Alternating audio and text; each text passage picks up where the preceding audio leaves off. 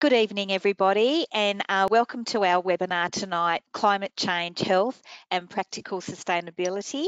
My name's Jenny Pearson and I'm an Education Officer for the Primary Health Network. Before we go any further, I'd like to acknowledge the traditional custodians of the land that we meet on tonight and pay respect to Elders past, present and emerging. Our presenters are tonight are Dr. Sujata Allen, she's a GP in Armidale, and Dr. Gerard Brownstein, and he's a GP in Benalla, Northeast Victoria. Um, there will be a, a, quick evaluation that will pop up at the end of the webinar and we'd love it if you could fill in um, that for us. This event is accredited with RAC GP and ACRRM, so um, all GPs attending will have points uploaded. Um, and this will be recorded and there'll be a copy of it um, on our website in our education library. All right, I'll hand over to you, Sujata. Thank you. All right, thanks so much. Um, so I might share my slides. Can everyone see that? I'm going to take that as a yes. Yes. Yes. Yes, that's um, good. Yeah. So thanks, thanks so much for organising this, Jenny. Um, and uh, yeah, before I go much further, I also want to acknowledge um, that we're all on Aboriginal land, probably in different parts of Australia at the moment, but um, acknowledge the traditional owners, um, yeah, and elders past and present and future. And it's I guess it's so important when considering this topic, especially that we um, think about Indigenous knowledge and Indigenous land use, because um, there's so much knowledge there that we can be learning from. Um, so this is we're going to be talking about climate change, health, and practical sustainability. So I'm I'm a GP in Armajun Aboriginal Health Centre in Armidale. Um, and I'm going to be talking about more of the climate change and health part of things and hand over to Gerard Brownstein, who's a GP in Victoria, who's going to be talking about more of the practical side of things. Um, so firstly, I just wanted to um, let you know this this beautiful artwork. Um, so I'm part of a project called the Armidale Climate and Health Project, which is um, partly sort of organising this webinar as well. Um, and this artwork was done by a local man, Tyler, um, and it's meant to represent so the um, Anaiwan um, symbol, the um, echidna is in the middle, and then this artwork is meant to represent climate and health and the interaction between people and country. So also wanted to acknowledge all the organisations that have sort of been involved somewhat. So the Armidale Climate and Health Project is um, a project that's funded by Adapt New South Wales. Um, and it's basically a project to run six workshops and a community festival. Um, and it's a partnership between Armajun Aboriginal Health Service, the University of New England, and Sustainable Living Armidale. Um, I'll talk a little bit more about that in a sec, but also wanted to really thank the New England Division of General Practice and the PHN for helping put together this, and also Doctors for the Environment for all the work that um, everyone does as volunteers in that organisation. So really briefly what the Armidale Climate and Health Project is. So it's um, basically um, a series of workshops that is really trying to answer the question about how can we build community connections and resilience in the face of climate change, um, improve our health and put Indigenous knowledge at the centre. So it's really trying to bring all those things together. Um, and my colleague and I, Jen Hamilton from UNE, um, went into this basically we didn't have any answers. We just had this question of how can we actually start to bring all these things together in a practical way on the ground. And we we've done a bunch of community consultations um, and have done a couple of workshops so far and there's more planned for, for the rest of the year. Um, so to learn more about that please go to our website armidaleclimateandhealth.com.au um, and yeah it'd be, love, it'd be great to hear your feedback and connect with the project as well. So it'll be running until the end of the year but we're hoping that there's going to be some practical projects um, like um, working on land access on private property with Aboriginal people. Um, there's another one on food, local food networks, and hopefully they'll be ongoing um, after the project finishes as well. So what we're going to talk about today, um, I'm going to cover a bit of the evidence and research um, and really just looking at a couple of direct effects of climate change in Australia. So looking at the recent bushfires, looking at heat waves, and then drought and mental health effects. Briefly touch on the environmental impact of healthcare as a, as a whole, and then hand over to Dr. Gerard, who's going to talk about practical sustainability. And originally, when we planned this webinar, um, well, this event, it was going to be face to face, but of course, COVID got in the way. Um, so we really wanted to open up the floor at the end to hear your ideas and um, think about the next steps as well. So as an as an overview, I mean, back in 2009, um, the Lancet um, medical journal came out with this article about climate change and stated that climate change is the biggest global health threat of the 21st century. So I guess just to frame this like it's this is not a um, climate change impact on health is not a new um, a new discovery. It's sort of been evolving over the years, um, and it's very well recognised that it's having a massive effect right now. Um, there was a more recent 2019 report of the Lancet Countdown on Health, um, and the overview of that um, that report in very in a I mean it talked about lots of things obviously, but key facts included um, that one degree of one degree Celsius of warming is already having major effects, and that it's primarily driven by fossil fuels. Um, won't go into too much more detail there, um, but yeah, I guess amongst Australian organisations, um, climate change is widely declared as a health emergency. So these are some of the organisations in Australia that have come out to, I guess, state this and state that this is this is not something that we need to think about um, in 10, 20 years' time. This is really impacting our health right now, and it's a health emergency. So that includes my college, the Royal Australian College of General Practitioners, um, RACP, AMA, Australasian College of Emergency Medicine, and many others as well. Um, now, over time, I mean, no talk on climate change would be complete without a, a graph showing some terrifying figures. Um, so we can see in the top corner, in this was from 2019, and we're already about 1.5 degrees Celsius above pre-industrial temperatures. So things are I mean, when when I started talking about this, um, I think it was only like maybe seven or eight years ago, and we were talking. I sort of was always talking in the future, like, oh yeah, these bad things are going to happen in the future. But unfortunately, it, now the future is very much the present, and I think, yeah, none of us, um, yeah, all, all of us, I guess, especially living in the country and living in Australia, have really felt the impacts of climate change already.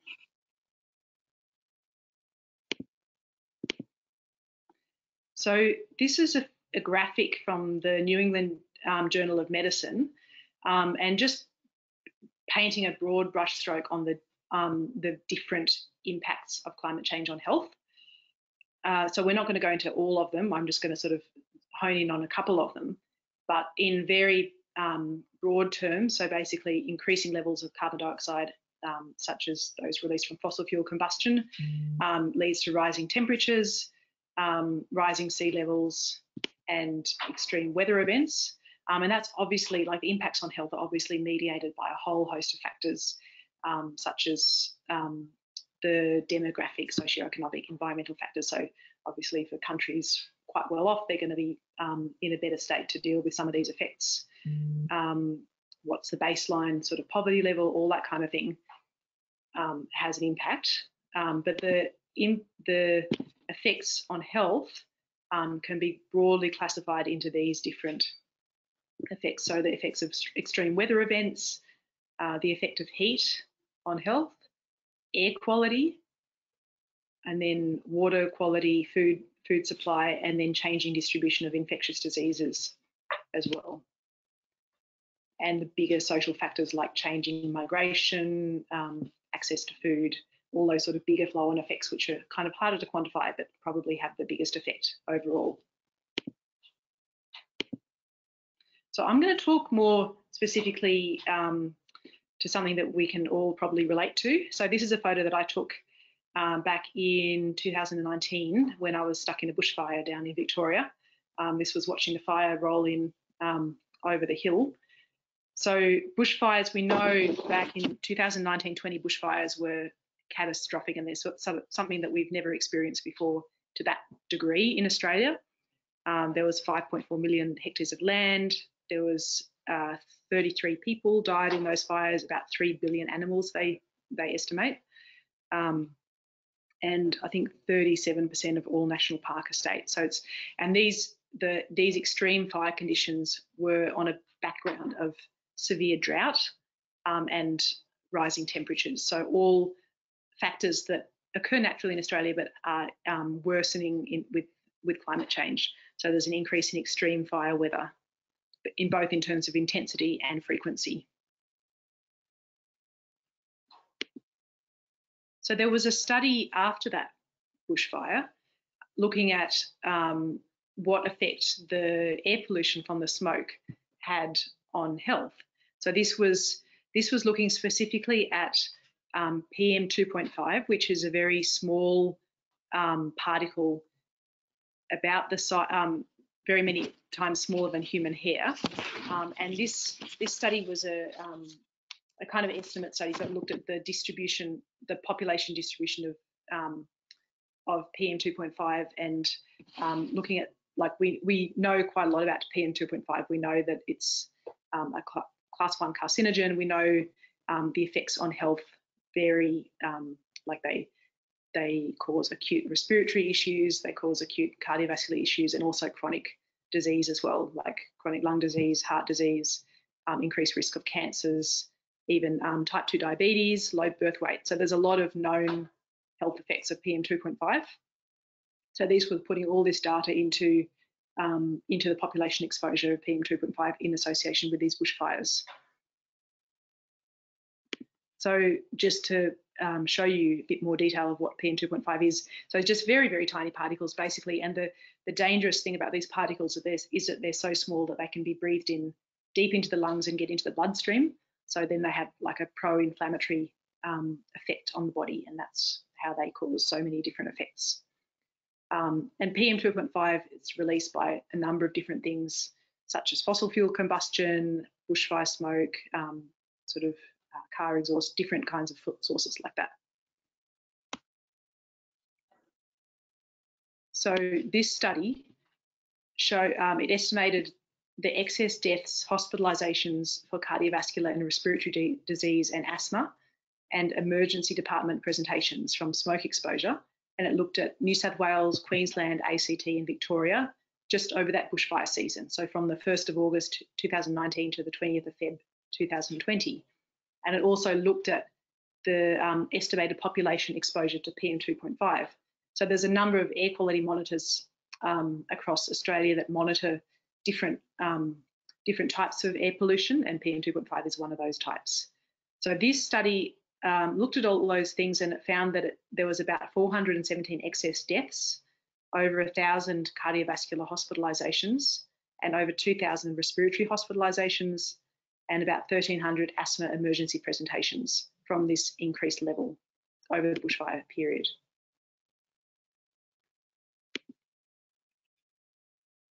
This again, so this shows um, uh, the um, PM 2.5 levels um, over the bushfire season, and you can see on, especially on those really bad bushfire days, that the spike was many, many times higher um, than the national air quality standard. So, and those of us, um, I think a lot of people actually probably learned more about air pollution in the bushfire times because we could see on there was like a, um, a, table you could see how if the air quality was hazardous um, or safe to go outside. Um, so yeah, on the the level of those of the air quality in, on those days was up to I think 14 times um, the historical population weighted mean 24 hour value, so many times higher than what we've experienced before.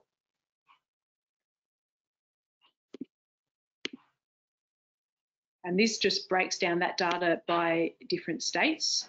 So you can see, again, um, I mean, coming from a, a, New South Wales perspective, because that's where I live, um, there was, yeah, you can sort of see the different numbers there. But they, yeah, these kinds of I guess these health impacts are not something that you see like it's it's not um, something that is so obvious as a fatality, which is obviously really tragic from a bushfire. But these are also sort of deaths that are a little bit more hidden. Um, but often the deaths, um, for example, from air pollution, are they might be hidden, but they're they're far sort of they're far greater um, than the direct effects, like the burns and the fatalities from the bushfires. Um, and impacts on like the general impacts of air pollution on health um, it's going to be those people who are already at risk. So those with chronic diseases, children, the elderly, um, asthma, it, those people who are already already have those um, pre-existing conditions that are going to be more affected.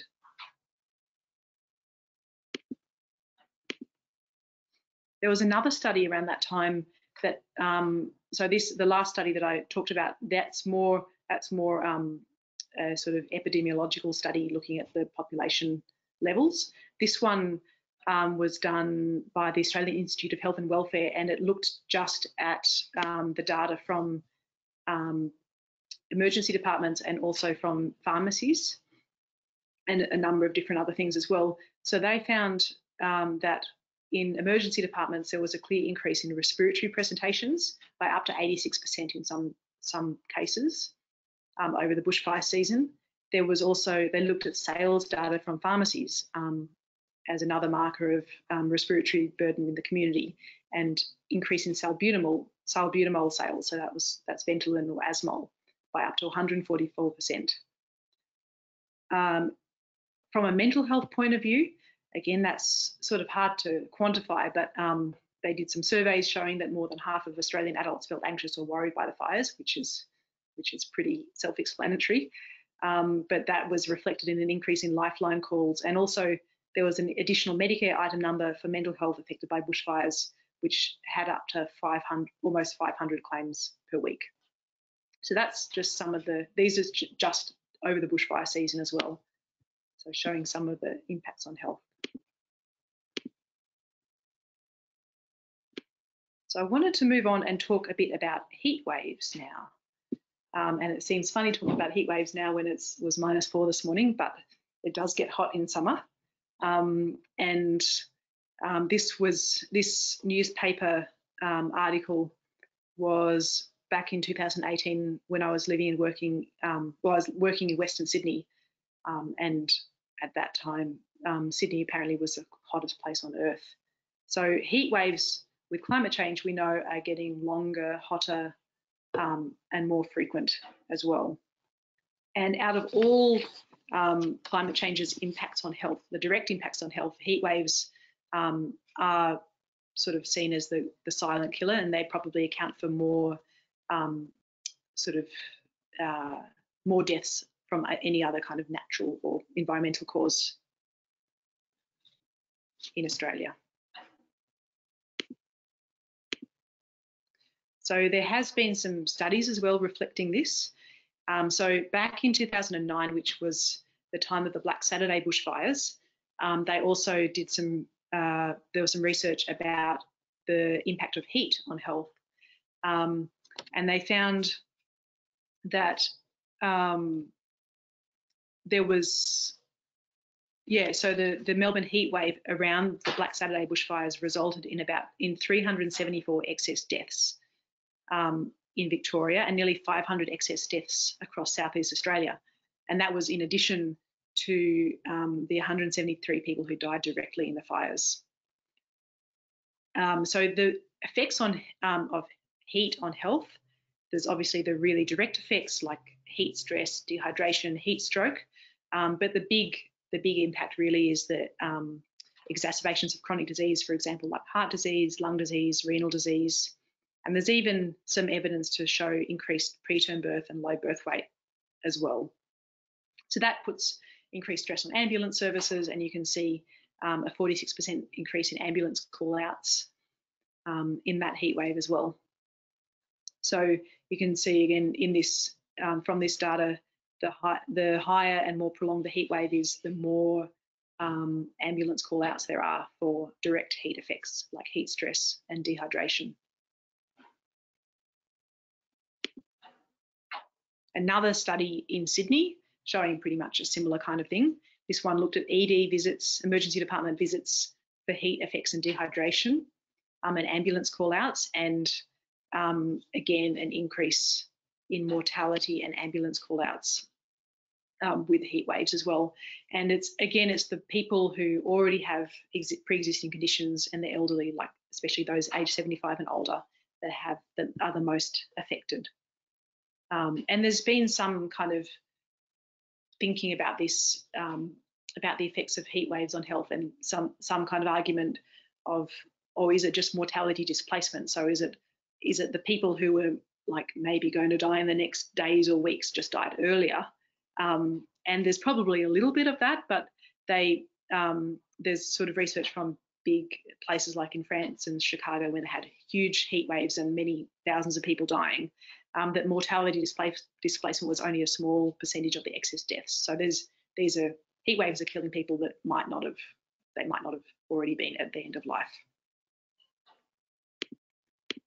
Um, and right now in in Canada and USA, um, there's a heat wave, and um, there's this is just a snapshot from the Guardian article just from um, earlier this month, just um, about how impacts how this heat wave is impacting people right now. Um, and um, most of the deaths in this heat wave were amongst older people as well. But then also people like outdoor workers, pregnant people, children are also at increased risk as well. So, uh, drought. This again, we know a lot about around here, unfortunately. This is a photo of my mum's property um, back in the drought in 2019. Um, that's her horse Charger, and you can see that there wasn't much grass around. Looks very different now, luckily, because we had a lot of rain. So, not surprisingly, drought has drought is a big stress among farmers, and I don't I don't feel like um, I mean it's good. We obviously need research as well, but um, some often these findings you think, oh, that's pretty self-explanatory, but it's also good to sort of have backup um, and know that the kind of self-explanatory things are backed up by research as well. Um, so this is a, an article um, in the in the Medical Journal of Australia, um, looking at the data from Australian Rural Mental Health Study collected from 2007 2000 to 2013, and that covers um, the area of the the covers the Millennium Drought um, time as well. Um, and they looked at things like drought related stress, community drought related stress, and general psychological distress using a K10. And they found that the most um, impacted people were young people, so young farmers, especially both un under 35, if they both lived and worked on a farm, so they couldn't really get away and this was their whole life. Um, obviously, if they're under greater financial hardship, that's going to add to their stress levels. And the more remote they were, um, the higher the drought related stress. So this is useful in terms of like if we're treating people like this and also um, I guess looking at trying to improve these people's access to mental health support or financial support, all that kind of thing to try and relieve their distress. Um, there was some also some research done after the Victorian Black Saturday bushfires um, and that's looking at psychological outcomes. And that was this study was done about three to four years after the Black Saturday bushfires. This photo again I took at the when I was stuck in the bushfire down in Victoria, some friends. Um, so they found this this study looked at um, they grouped people into high affected communities. So this was these were communities where there was a number of fatalities and a lot of property loss. And the medium affected was the people who there was a lot of property loss and maybe a couple of fatalities, but not as severe. And the low affected were pretty minimally affected by the bushfires. Um, and they found that overall, actually, people people are pretty resilient. So that was, I guess, a positive thing. Um, that a lot of people went through this horrible experience and actually bounced back and um, so, like their mental health was quite good afterwards. But there was also a significant um, minority of people who experienced direct mental health effects even a couple of years down the track. So you can see the um, prevalence of, um, of PTSD. I mean, the baseline level of PTSD is also pretty high, but also specifically the fire related PTSD was um, was quite high, more so in the high affected communities, which which makes sense. I mean, if you're fearing for your life and um, having a really um, very personal effect of the fire, then that's going to increase your chances of getting something like PTSD. Um, and there was also um, more incidents of things like heavy drinking in the communities that were more high affected as well.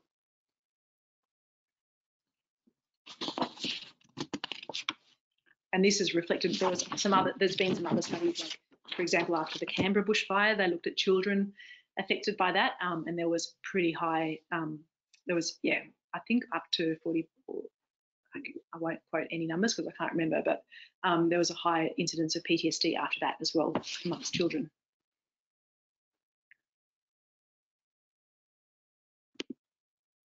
So after all that kind of um, bit sort of heavy topic, um, and yeah, I mean, there's, I guess, I guess overall, there's there's sort of more and more research um, confirming the impacts of climate change on health, which we have known for a long time, but it's it helps to put numbers and faces on on um, on things that we do know.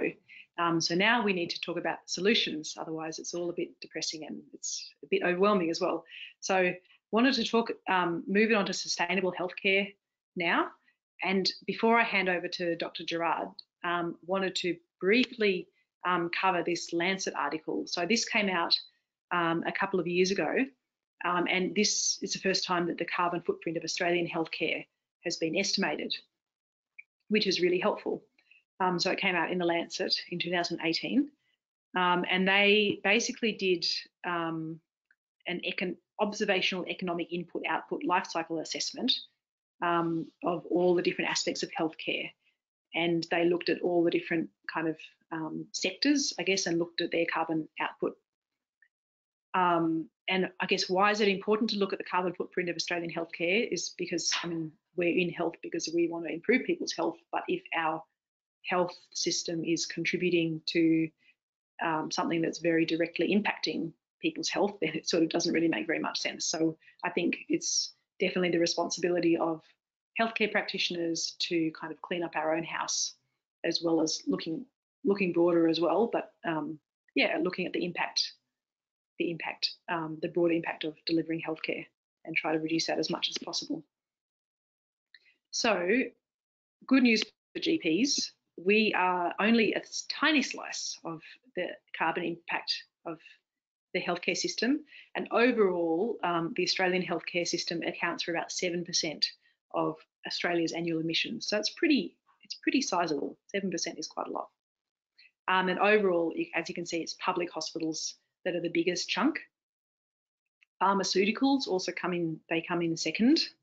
Um, private hospitals probably come in third, and then all the other other bits and pieces are over here. Um, so general practice, I think we we have a really important role because um, I guess for one thing, really good general practice can keep people out of hospitals, which will reduce the impact of public of um, carbon emissions on public with public hospitals but also, I mean, we still have a pretty, we have a, still a significant um, percentage and we can do a lot within our own practice um, to reduce the impact of our healthcare, um, as well as doing all the other fantastic things that we do every day. So I'm going to hand over to Dr. Gerard Brownstein to take us through what he's done in his practice. Oh, um, thank you very much, Sujata, and thanks for your, your talk. Um, and welcome to everybody out there in freezing Armidale and the, the hinterland. Um, I'm, a, I'm a general practitioner in Benalla, which is a uh, town of about 10,000 people in northeast Victoria. Um, and, uh, you know, we've we experienced the, the fires, not directly, um, the recent um, terrible summer fires, but but we, we got to enjoy the smoke for, for many months. Um, so, so Java, we just go to the next slide. Um, so, well, I've, I've been a general practitioner for about 30 years in Benalla. It's amazing how time has sort of flown by. We're talking about fossil fuels, but I never really thought I'd ever become a fossil. But um, there you go. I, after 30 years, I'm almost qualified as one. Um, we're we're a, a busy, uh, well-run, well-resourced um, uh, private general practice. Uh, we have uh, six principals, of which I'm one. So we're we're we're doctors and business owners, really, at the end of the day. Um, and we have we employ doctors. We've got administration staff, and um, uh, we've got our practice nurses as well. So we've got quite a big team. Thank you, Sujata. Um, our practice meetings, you know, you, I, when when the issue of uh, climate change and sustainability came up in our practice, I, I, didn't think there would be so much controversy, but but um, you know, this uh, Leonardo da Vinci's Last Supper sort of came to mind. We we have our practice meetings once a month. We usually have dinner together, and I was surprised how much uh, pushback there was, um, even to discuss sustainability um, in our practice. Um, there was myself and one other uh, one of the other principals, um, you know, who uh, felt strongly about this. Um, but I think we sometimes sort of assume that that uh, our colleagues are equally invested in um, sustainability and health and the environment, and you know, the, uh, I guess the this, the social issues around climate change as much as we are. But in fact, um, you know, I, I, think we're probably a little bit in the minority. I think most um, have an opinion uh, about climate change, but life is busy and um, uh, not the, the, inclination is not to really get too heavily involved. Next slide, thanks. Um, so, but eventually we carried the day, and um, after their practice meeting, um, we we agreed that we would have a look at sustainability in our own carbon footprint. Um, but the proviso was that we really weren't to spend much money and um, we didn't want this to be a political um, exercise. So with that in mind, as, as a group, that's what we decided to do. So our aims initially were um, to reduce our carbon emissions as close to zero as possible um, to, and to advocate for personal action towards a more environmentally sustainable future by, by basically just doing what we were going to do. So the caveat to all this is, is that uh, it had to make sound business sense. And, you know, I would suggest that in general practice these days, particularly where there's a lot of corporate practices, um, the bottom line does matter. And it's, it's often much easier to engage um, your colleagues uh, talking about um, uh, sustainability in the in a general practice setting if it if it has that carrot of uh, that it actually makes very good business sense. Um, most practices these days have you know professional um, or semi-professional practice managers, um, and their job is to is to um, you know look at the bottom line. So they're they're a great ally in in um, you know, progressing this along. Thanks, Sujata. Um, but like most things in life, we we uh, we thought we had all the answers. We thought we knew how our our practice operated, you know, where the where the dollars went basically, and um, how you know we prided ourselves as having an efficient um, practice from the point of view of what we consumed and um, and how we consumed it. Um, but the great American philosopher Donald Rumsfeld, who has recently passed away, you might remember that the, the Second Gulf War, he's the Secretary of um, State, um, Secretary of Defense, sorry, in the in the American uh, government at the time. Um, and one of the most sensible things he, he did say about the Iraq War was that there are known unknowns uh, and there are things that we know we don't know, and that's pretty much where we came from. Next slide, thanks, Sujata. Um, so we we contracted a um, an energy audit company um, to come into our practice and to uh, run an audit about um, how we used energy, what our what was wasting energy, and to give us some priorities in a financial sense, particularly um, with with what we might do, you know, if we found anything particularly interesting. Um, fully expecting that really for fifteen hundred dollars we would, um, you know, probably find that we were as good as we thought we were. Um, next slide, thanks, Sujata. Um, so what we found, this is in 2016, was that our average daily um, energy consumption in the building um, uh, was about 170 kilowatt hours per day, uh, which is probably the equivalent of um, uh, eight to 10 households. Um, and you know, the amount of carbon dioxide emitted just, just through our energy use um, was about 79 tonnes. Um, you might remember those that are old enough, um, the, the famous black balloon ads where we had balloons of carbon dioxide sort of squeezing out from behind the fridge. Um, this is probably going back about 12 years ago, um, a government campaign to get people to think about where they might be wasting energy and its actual um, effect on generating carbon emissions. So you know that that that equated to you know, these about four litre balloons, um, you know, 1.5 million of them. Next, thanks, Shadavan. Um, the findings were quite interesting. We the, the first thing was that we had this energy waste um, uh, during the night, which is which was a background energy waste of about 30 kilowatt hours per day, uh, that that's a 30 kilowatt hours is um, about probably what an, um, uh, a big home would use with three or four bedrooms, um, and this this equated to about 14,000 kilograms of carbon dioxide a year, which we didn't know what it was, um, and the money side of that was four thousand dollars.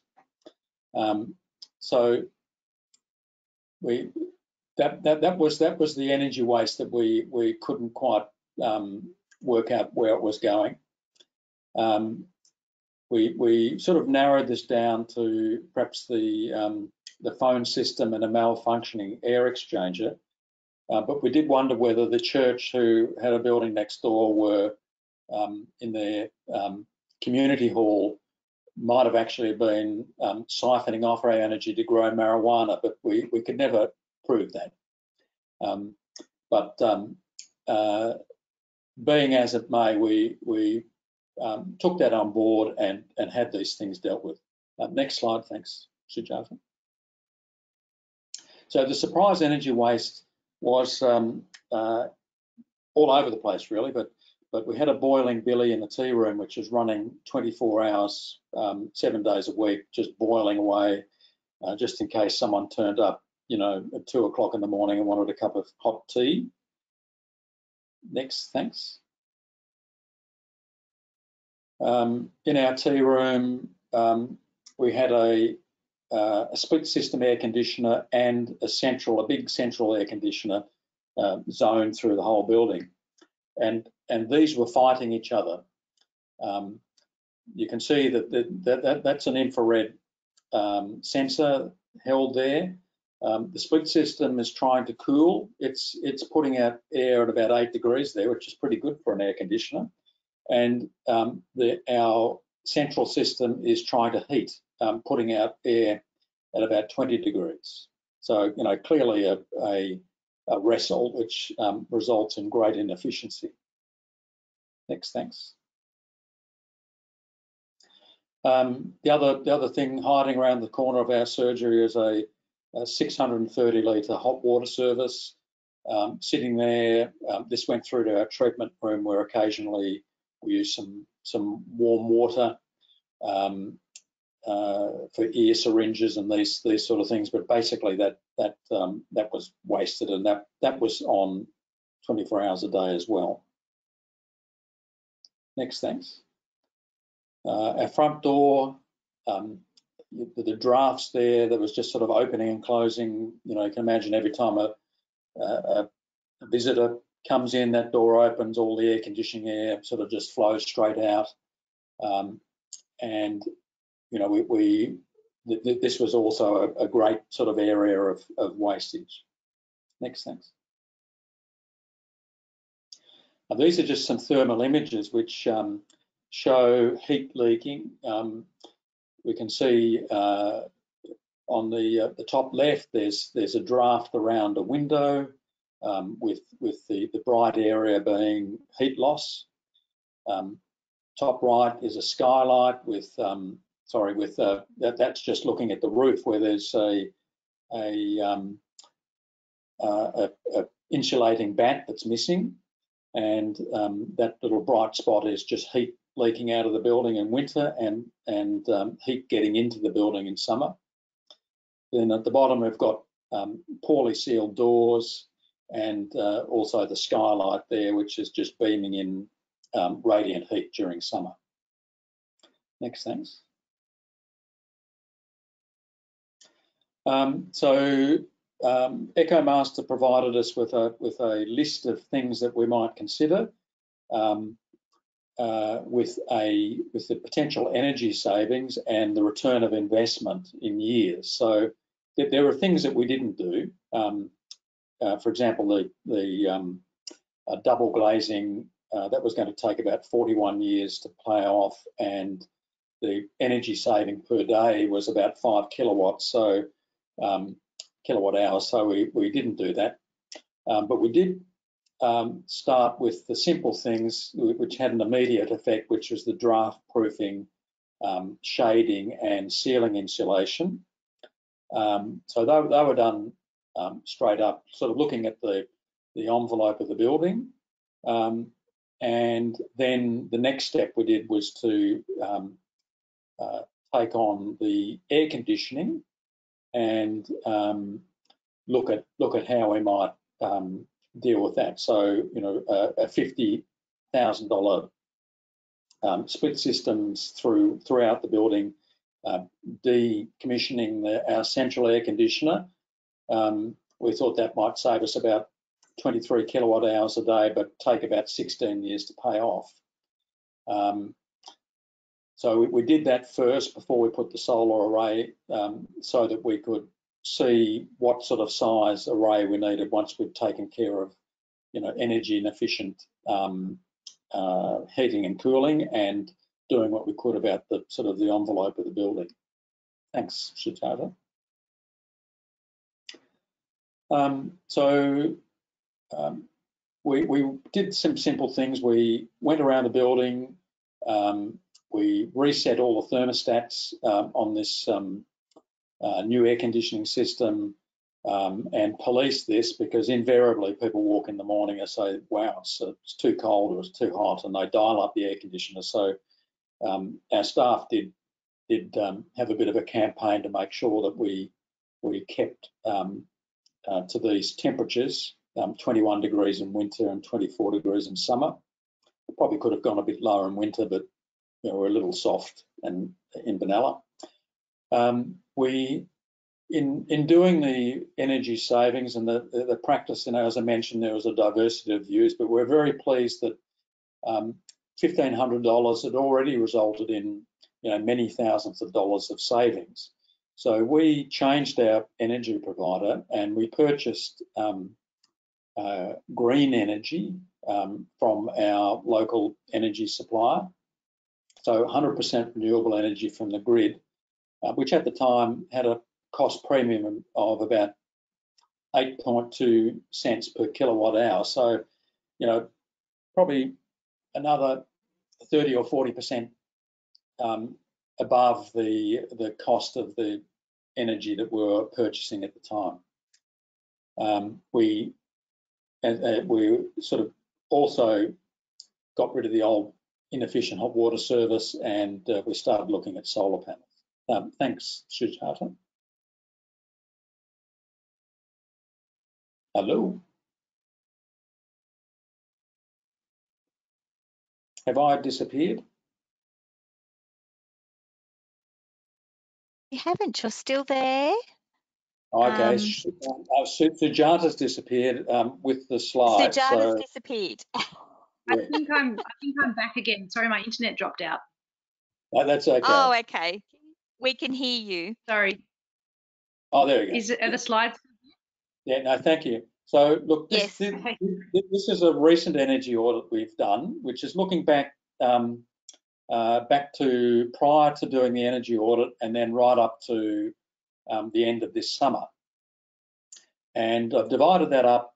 Um, you can see that there's winter and summer there with the kilowatt hours um, per day. So in 2015, uh, per day, we in winter we were using 223 kilowatt hours.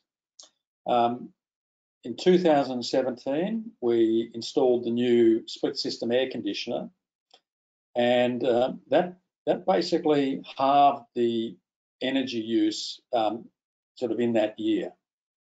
Um, so that, that was that was pretty telling that we had a very inefficient system. Um, in September 2018, we installed a 20 kilowatt solar array. Um, and that that also resulted in a in a really quite a huge um, drop. So that that that took the compared to 2015, reduced our energy use um, down to 70 percent of, of what it had been. Um, and particularly in summer, when the solar array is running, um, you know, our energy use in this building that previously would use um, several hundred kilowatt hours uh, was running at the lean um, the lean rate of, of a, a pretty frugal um, suburban home. Um, and that, that was essentially just getting rid of um, inefficient air conditioning and using solar panels. Sujata, you've disappeared again. Are you there, Jenny? Sorry, Oh, I'm right. still Yes, here. I am. Wonderful. wonderful. Um, so look, there, there, there are some other things we did. Um, we we looked at our waste management and we put recycling bins in. We had recycling trays throughout the surgery. Um, and in that first year, we reduced our well clinical waste just by um, uh, being particularly careful about where it went uh, and what we did with it. Um, we reduced our clinical waste um, by almost sort of 9%, despite doing all of our minor procedures back at the clinic. We have been doing it in the hospital. Our general waste, um, we also reduced that by 18,000 litres per year.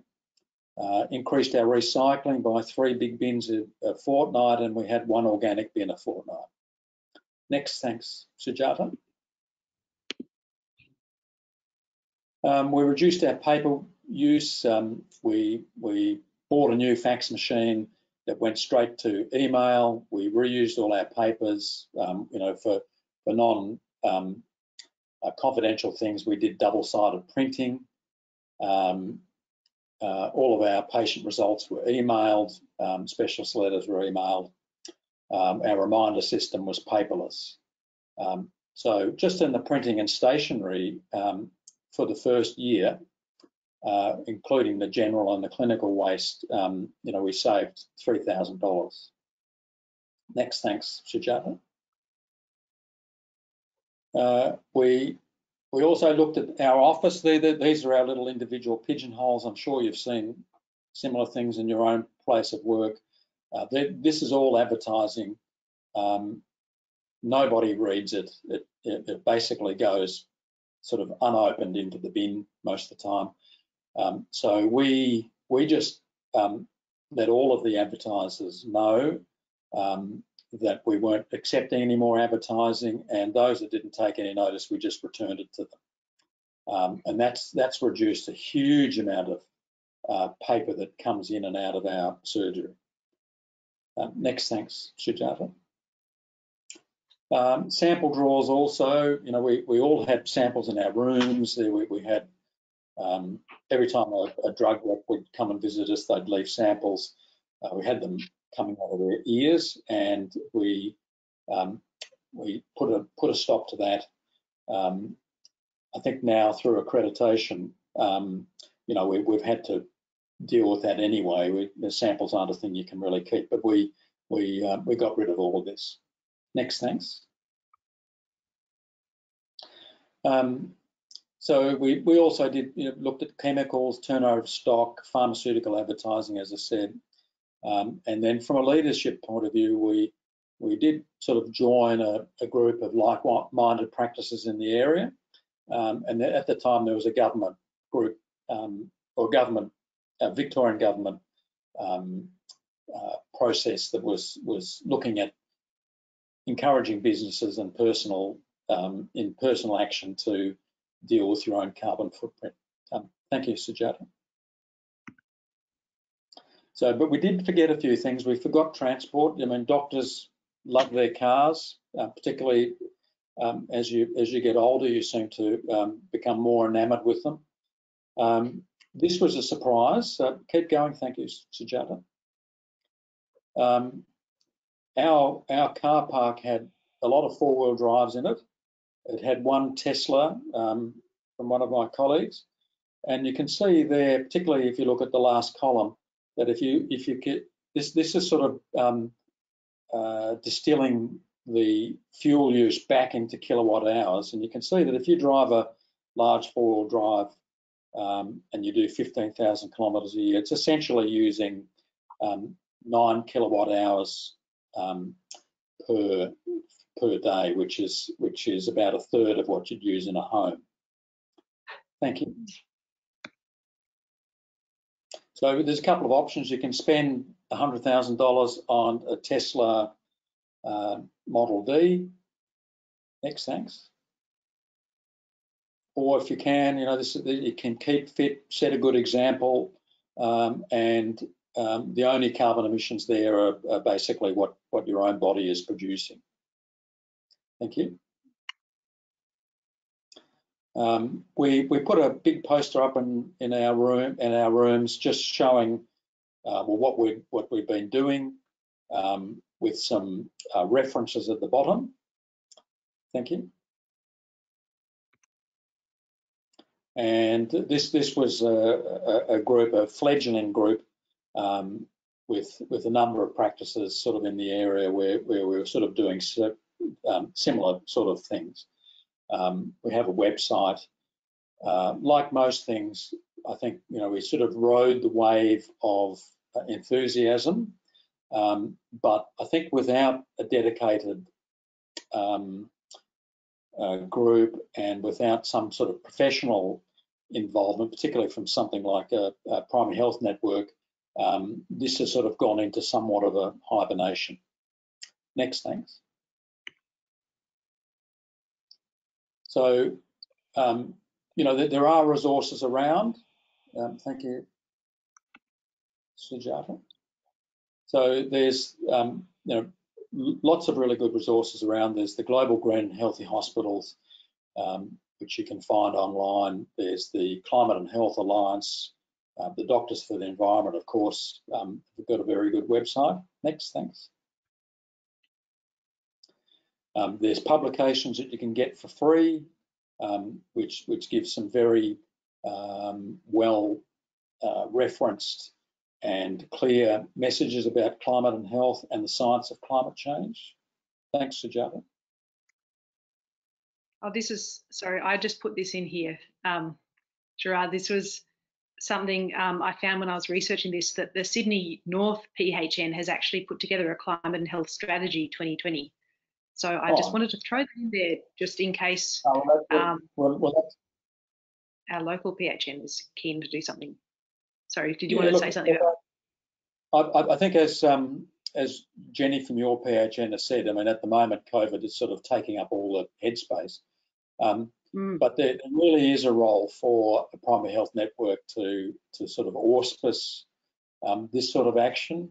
You know, I think as I said at the beginning, um, um, the minority of doctors really uh, have that sort of fire in their belly to to get out and um, do something about climate change and health and do what they can. Um, but but many many share the views, but um, need need I think the organisational assistance to really put that um, into some sort of action. So, Hmm. Next, thank you. And that, Just that's to put uh, environment. Thank Yeah. you for putting that. There's a Um, really um, there's a recent report that they've put out. Now, I, I think in terms of actions that we can do, the other really important thing to do is to not forget that we do have um, member organisations, and probably one of the most um, strong politically um, is the AMA.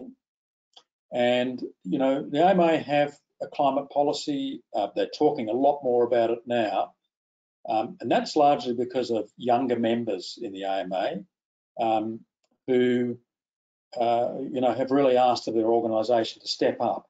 And at the end of the day, you know, climate change, while it is a health and a social issue, um, it is a political issue. And, um, you know, Australia is still in this um, uh, dilemma of, of wrestling with itself over, over what we'll do about this. So I think um, the AMA, our professional colleges, uh, all have climate policies and we all pay our dues to these in one way or another and uh, either joining them or becoming more active and um, insisting that there's more activity is is um, a sort of a really uh, important thing to do and and pretty easy. Thank you, Sujata. Um, so the broader community, this is just um, uh, a climate leadership uh, program that was running a few years ago in Benalla, uh, in Victoria. But we, we live in country towns largely, or, or in rural cities. Um, general practice is very well integrated into communities. You know, we live in them, we live in communities. Um, we we have friends from all sorts of different walks of life. Our children go to local schools. Um, we're, we're part of the community. So there, there are environment groups in most of our towns and cities. And it, you know, it's a good idea to sort of link up with them and, and encourage our clientele uh, and our colleagues to, to join. Thank you. So what can a doctor do? You can practice good medicine. Um, you can avoid polypharmacy, particularly in the elderly, basically being a good GP. You can use teleconferencing and telemedicine more. Think about how you travel personally. Thank you. And to ask yourself, you know, how green was your electricity today? today? So that's the known unknowns. And to join community projects. So a lot of um, towns these days, and particularly um, in northeast here, we've got some very innovative people in our communities who, um, you know, would benefit from from um, their GP support. Thank you, Sujata. And, and this is a very handy template to use if you're thinking about what you can do and what you need to think about. This is from the Global Green Health, um, uh, Green Hospitals, the Global Green Healthy Hospitals Network, and it's their um, agenda goals for, for um, sustainability in your workplace.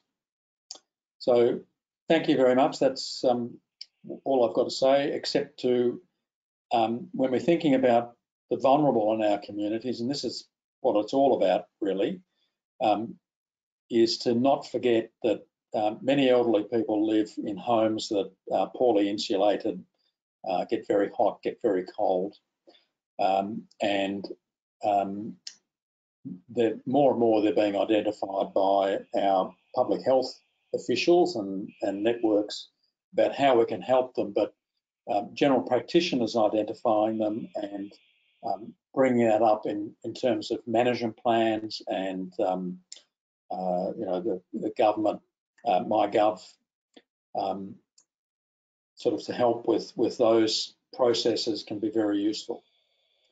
So um, thank you, and um, back to you. Thank you, Sujata and Jenny. Thanks so much. Um, yeah, thanks for that. It's really good to see the real practical, um, practical things that you've done, and also just um, yeah, how much money you've saved and how much energy with with yeah. I think that I think general practices are a great um, location to do all these changes because we have we're open during the daytime, so most of our electricity is in the day. So solar panels have a really good offset. So there's lots of lots of things that you've done, and they they probably will also they look like they also um, make your practice more enjoyable as well when you don't have huge pigeonholes full of advertising and all that paperless systems and everything. So lots of win-win situations.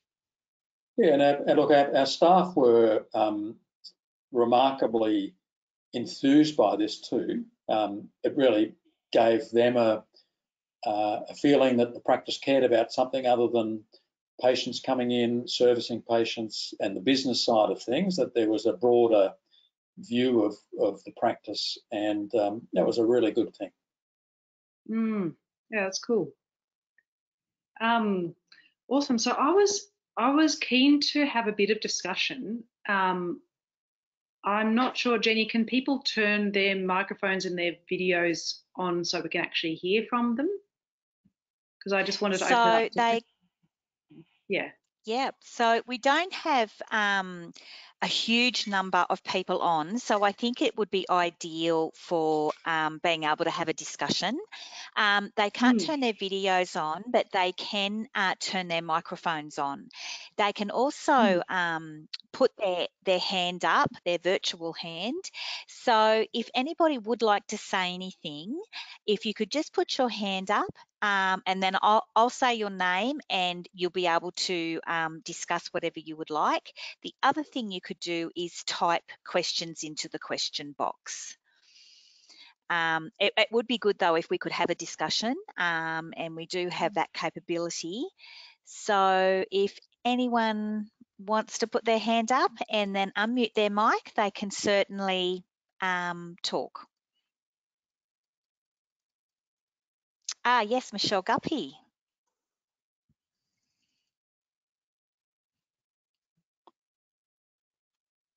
Think you might be muted.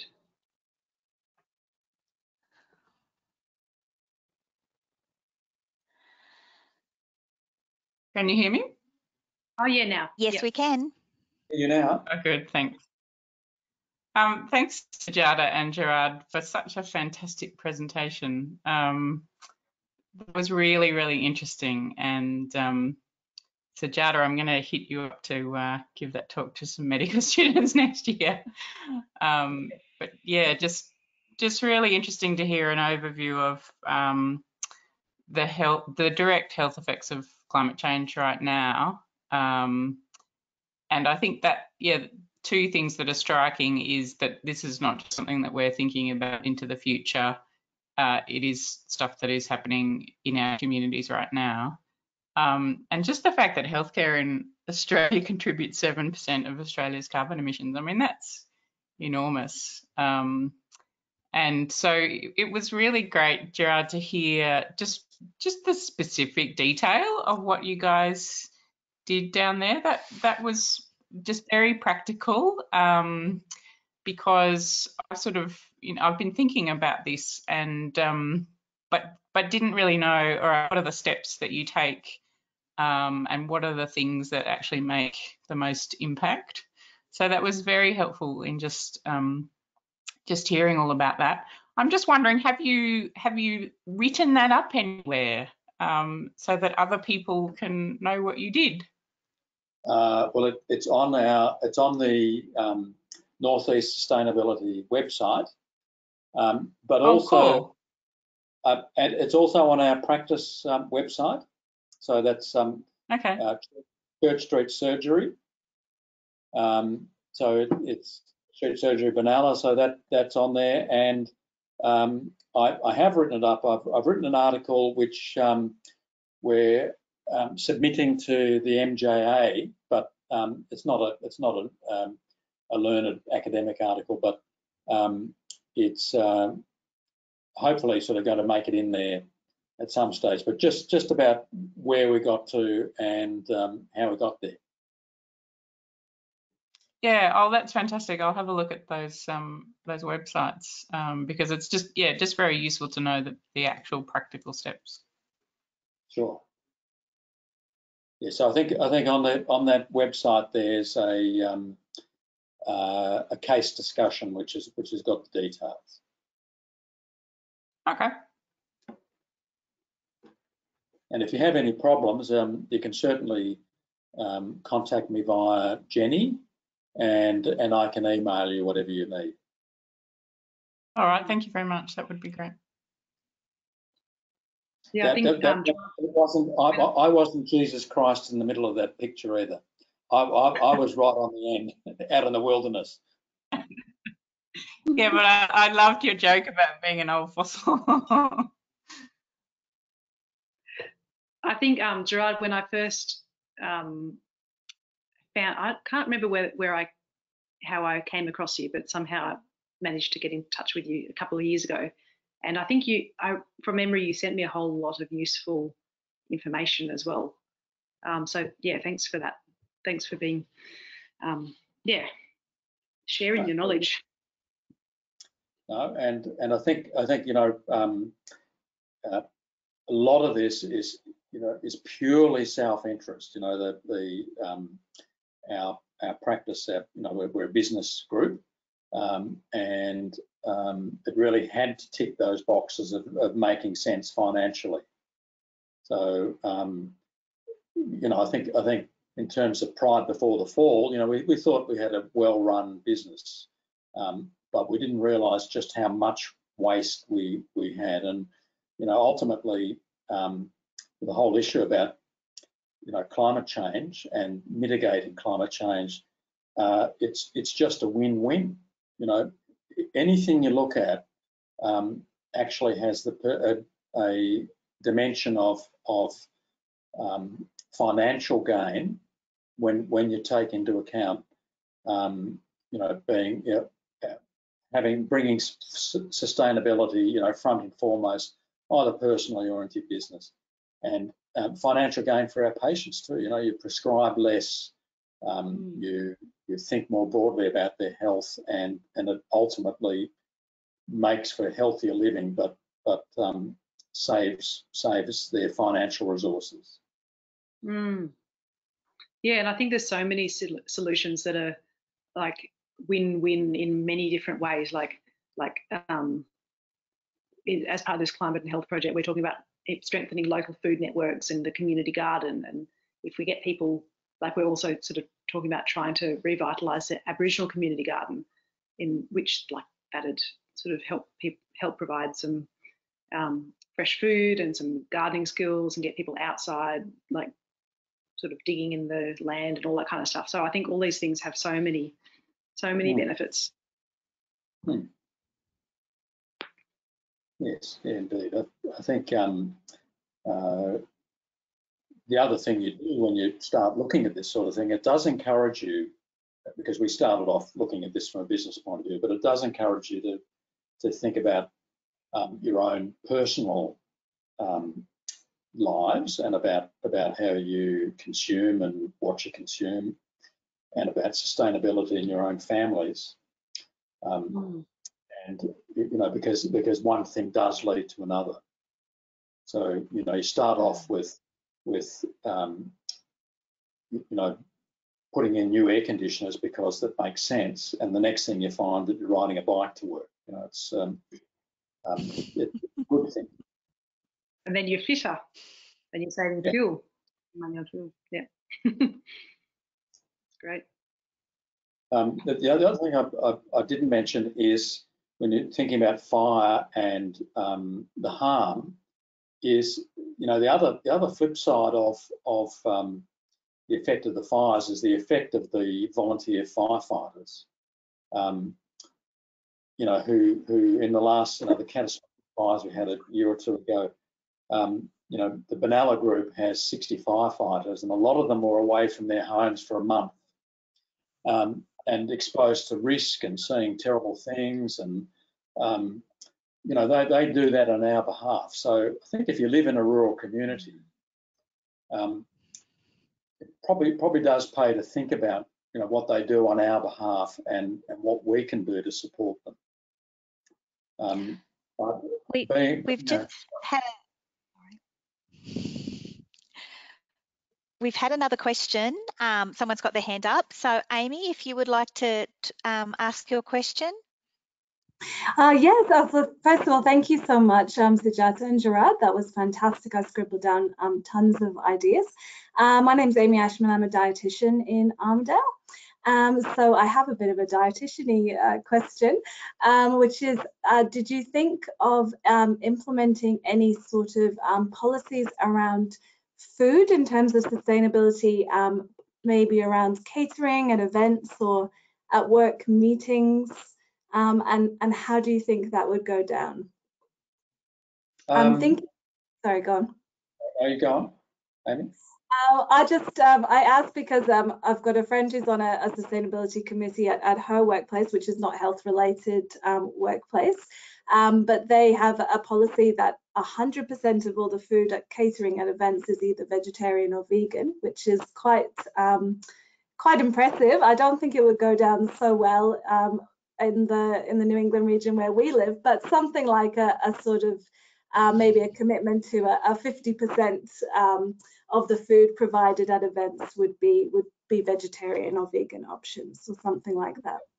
Look, um, that, that, that's an interesting point. I mean, I think if we brought it in in Benalla, um, we would be down to about two apostles rather than 12. The others, I think, would leave the building. Um, but, from a personal point of view about, about veganism and vegetarianism, um, it almost doesn't need to be sold anymore. I mean, I, I love meat, um, you know, and um, uh, my wife for quite a long time, a number of years now, has been gradually leading us in the direction of vegetarianism. Um.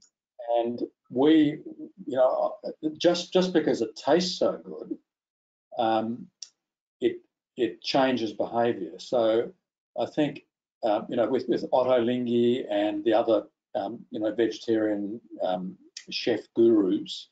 Um, you know, there's so many delicious recipes around, and, and from a personal point of view, um, you know, uh, whereas you know I chain myself to the barbecue, um, you know, I look forward to our vegetarian meals. So while we haven't, as a practice, thought about um, personally we have, mm. and I think the other thing we could probably do as a practice is to um, is look at our garden because we've got a garden out front, which we have a gardener. But maybe we could actually have some vegetable growing in there and encourage people to take some herbs or um, you know some seasonal produce when they come and visit. Um, so, so there are those sort of things that add to the whole. Um, you know, it's quite a welcome thing. I think if we did that, we we, we haven't gone down that route, but that would be um, you know something we could do. Oh yeah, that would be a lovely thing for clients as well if they were could um, pick some herbs on their way out. That would be that would be lovely.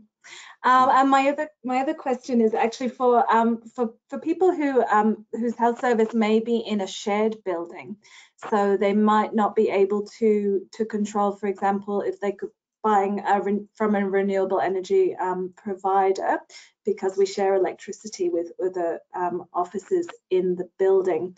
Have you got any advice around that? Because obviously one of the most significant things that, that you can do, um, or most of the most significant things you can do involve actually um, owning the premises that you are um, that you're working out of and not renting in a shared building. So uh, the, what are the sort of biggest things that we could do for people who are in that situation? Yeah, that, that's a, that's a very common problem um, because you know a lot of practice, general practices are owned by a corporation now, um, and the uh, general practitioners um, who run their own practice might actually be renting their premises. Um, mm. so they don't have the scope to you know alter the building envelope so much. Mm. Um, I think if you're in a shared building where the elect, you know, the electricity is being supplied, you know, to one meter, mm. um, and that becomes, uh, you know, impossible without the um, the agreement from the other people who are receiving the electricity from the provider. Mm.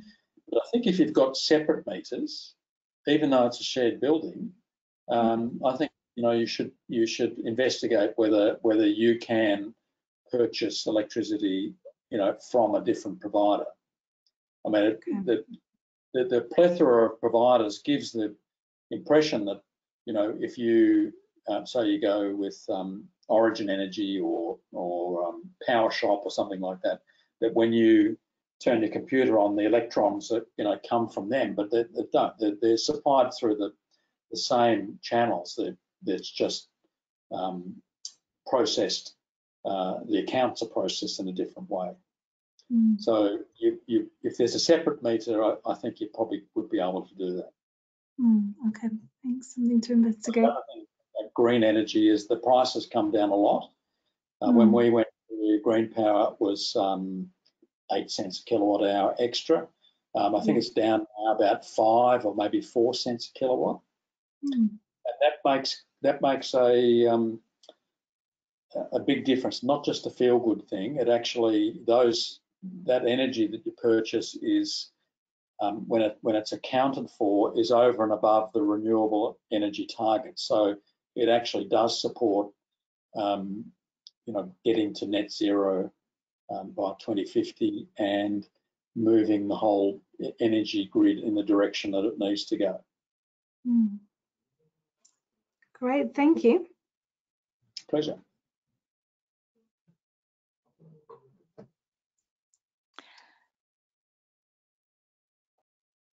Ah, yes, we do have someone else with their um, hand up, and that's Brian Connor. Brian, if you would like to ask your question.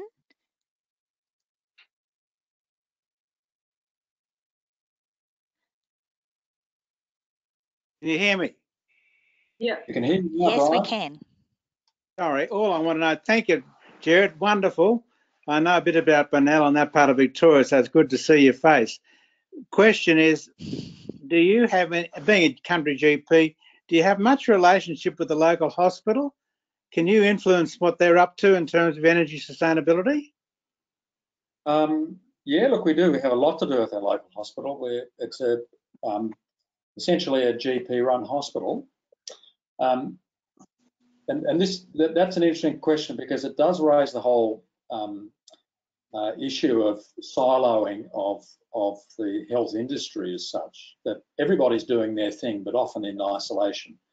Um, the the hospital, um, you know, they are they are mandated by the Victorian government to um, institute various sustainability um, actions.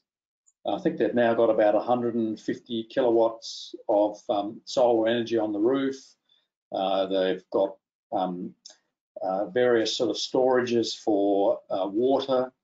Um, they've they've done all the landscaping is done in a way that sort of conserves water, um, and also in the way they handle waste. So so they're very much you know government focused, and they you know they've got key performance indicators that they have to make, but they don't um, uh, interact with with anybody else.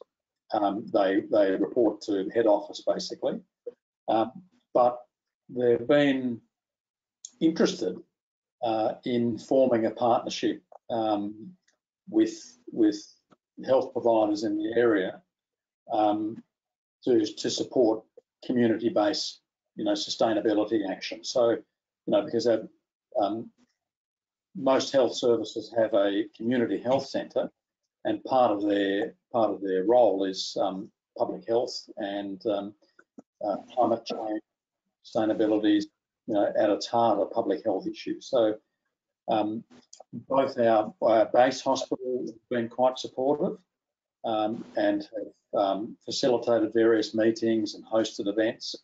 Um, and our local hospital have made the right noises, but again, you, there's it, it's difficult. You've got to get the right person. You've got to give um, uh, the the board and the CEO really have to have to want to do it. But, but Thank you. Rural um, hospitals, they're, they're communities as well, so you know they're happy to jump on board. Thank you.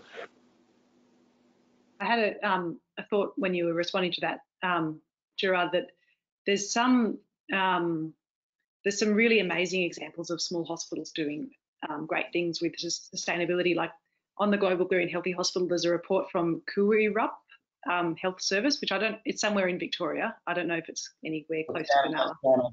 down in Gippsland. Ah, okay, yeah. But their, I mean, their CEO is very, very on board, and they've done things like I think have local food in the hospital. They've put solar panels. They've done huge amounts of things. Um, so I think yeah, if you have a, if you have even a couple of very keen staff members um, that can push the executive to um, start doing this kind of thing, that's sometimes all it takes.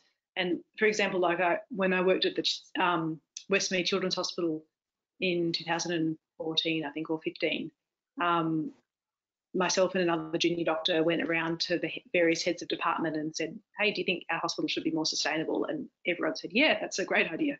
So we took all that to the CEO, um, saying, "Hey, all these heads of department think that we should be doing more," um, and the CEO was also on board, luckily. Um, but yeah, and basically hired a sustainability officer, and we formed a sustainability committee. Um, and so I think sometimes it only takes a couple of um, a couple of keen people just to kind of take that to executive and the higher up people and say that this is something important and yeah changes then then some if it's kind of put in the structure of the hospital then that change can happen um, no, no, no, I remember um, speaking to the um, inaugural sustainability officer at the Mater Hospital in Queensland. Um, mm. His his role was um, uh, when it was created, the the CEO said, "We're going to fund you for a year, and your goal is to pay for your salary in the first year mm. or savings." Yes.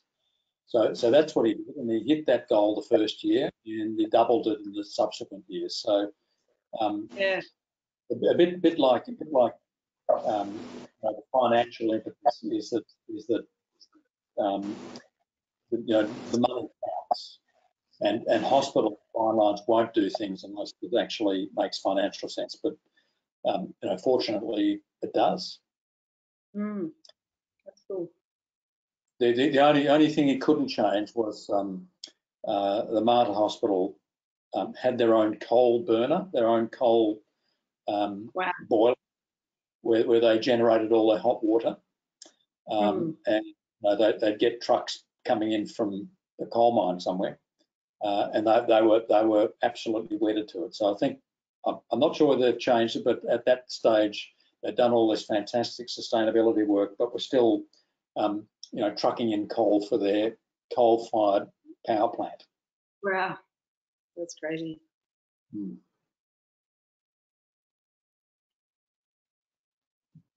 Well, we haven't got any other questions. Um, just before we go, has anybody would anybody else like to say anything?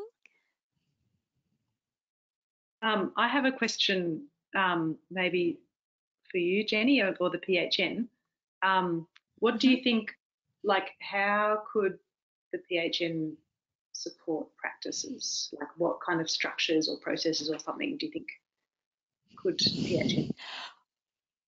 I have no idea, but I will um, certainly take it to our CEO and see what um, maybe we can come up with.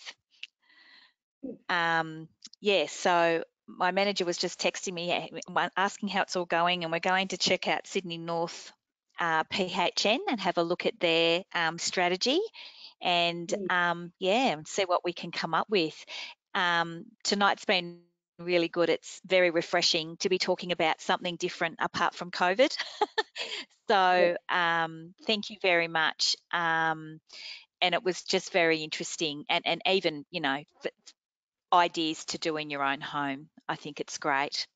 Uh, thank you everybody for attending. Um, this is accredited with RACGP and ACRRM, so fill in the evaluation um, and I can upload your points and we will have a copy of this on the website. Um, thanks everyone and we'll see you at the next webinar. Thanks so much, Jenny. Thank you very much, Jenny.